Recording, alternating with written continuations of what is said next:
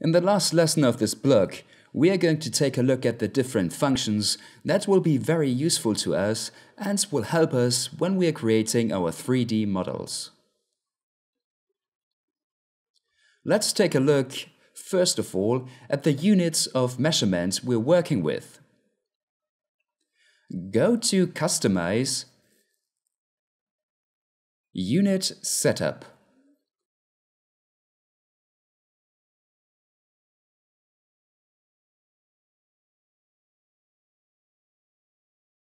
Here you can choose the units of measurement that you need for your project, centimeters, millimeters, inches, and click OK when you've chosen. So this window basically shows us the way we want to see our system. We could be working in centimeters, but we want to see the measurements in meters.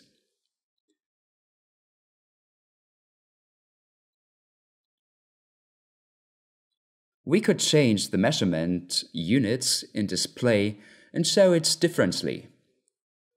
In this case, we'll use centimeters.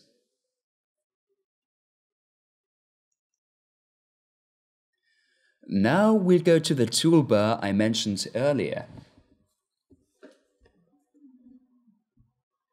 If you right-click on an empty space, you can customize this bar in different ways and even adds buttons and options that aren't there by default.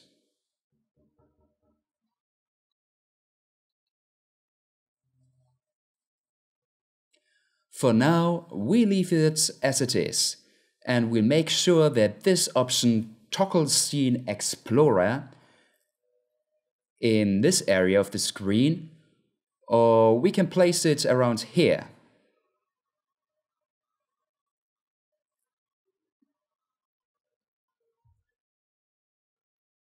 This is the panel where our layers will be, where all our project will be, and where we'll edit most of it.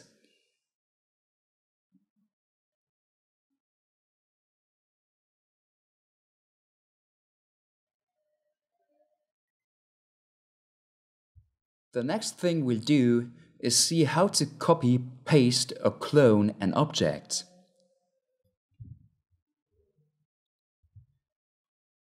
Let's center ourselves. To copy or clone an object, we'll use Shift. When you use Shift and drag one of the axes, the object will be cloned automatically in any direction. When we clone an object, we get a window. We focus on these two options first of all, copy and instance. We'll make a copy on one side and on the other side an instance so I can show you how each of them works. On this side, we'll put the instance. The difference between copy and instance is very simple. Basically, a copy makes an exact clone of the object as it is. If we transformed our base object, then the instance would change at the same time like a mirror effect. However, the copy would stay the same as when we clone it.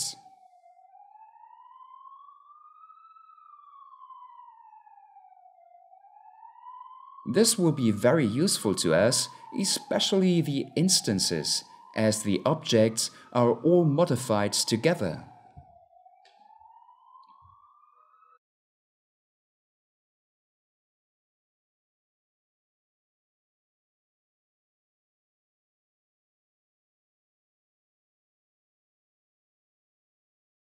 Imagine that one of our objects was covering another and we couldn't see it properly. Well, there's an option to fix this. What it does is create our object and transform it into a transparency. If you press Alt and X, as you can see, you get a kind of transparent copy where you can observe what's inside the geometry. This is similar to F3, that we mentioned earlier. Only in this case, it shows us the wireframe of everything. And we still want to see the solid of our object that's inside. To do that, we can make certain objects transparent and observe what's inside.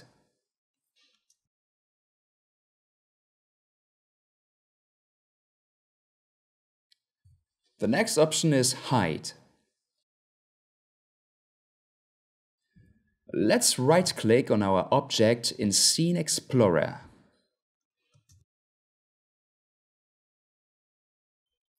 On the top part of the menu we have different options.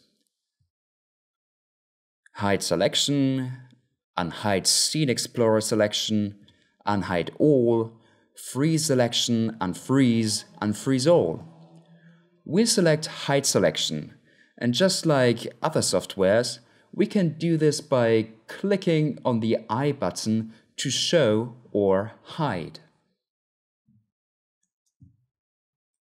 Another interesting option is to freeze. Right-click on the object and go to Object Properties.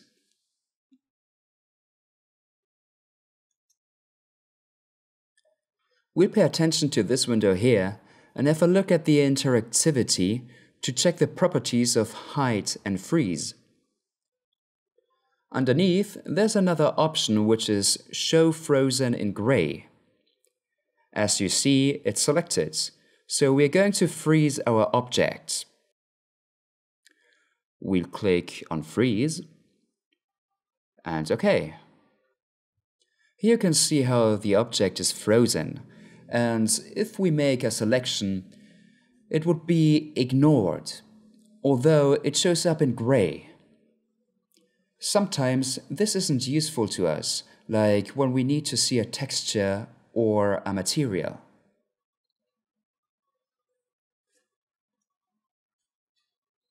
So what we can do is go back to Object Properties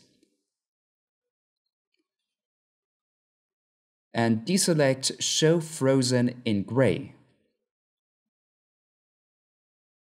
Now, if you select OK, the object is still frozen, but respecting the color texture of material applied.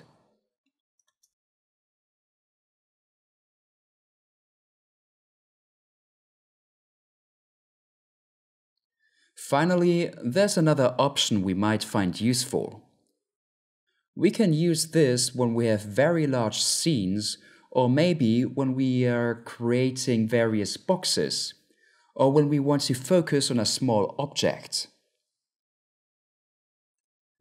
In these cases, working through a small viewport can be uncomfortable. This is called Isolate Mode.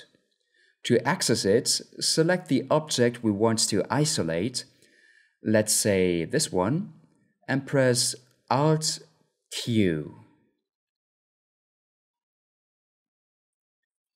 This is isolate mode.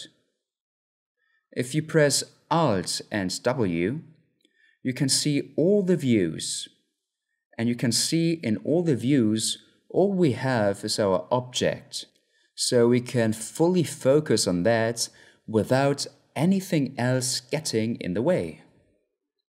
To exit isolate mode, just press Alt and Q again or press this button here.